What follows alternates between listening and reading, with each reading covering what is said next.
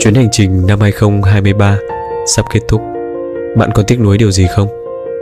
Một hành trình mới sẽ bắt đầu. Mong bạn hãy cất đi những kỷ niệm, những hồi ức và không mang theo sự buồn phiền, lo lắng.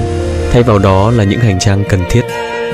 Chúc cho hành trình mới năm 2024 của chúng ta luôn mạnh khỏe, bình an, với thật nhiều may mắn và thuận lợi